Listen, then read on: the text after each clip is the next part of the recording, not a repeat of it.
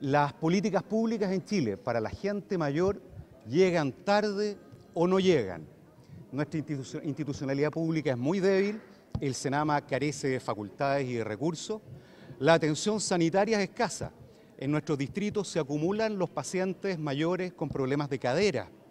Sabemos que la cantidad de dinero que aporta el Estado para apoyar a los pacientes postrados mayores es bajísima y eso empobrece a sus familias.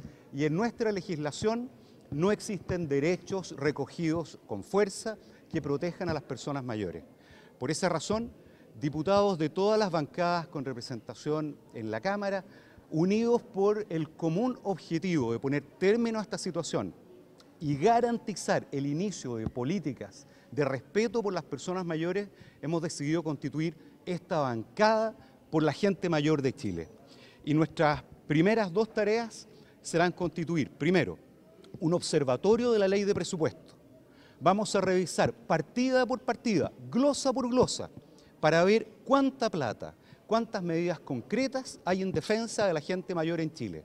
Y en segundo lugar, vamos a revisar todos los proyectos de ley que están entrampados en alguna comisión o en algún escritorio que defienden los derechos de las personas mayores y todavía no han avanzado. Esta es una tarea impostergable y a partir de hoy nos hacemos cargo de ella.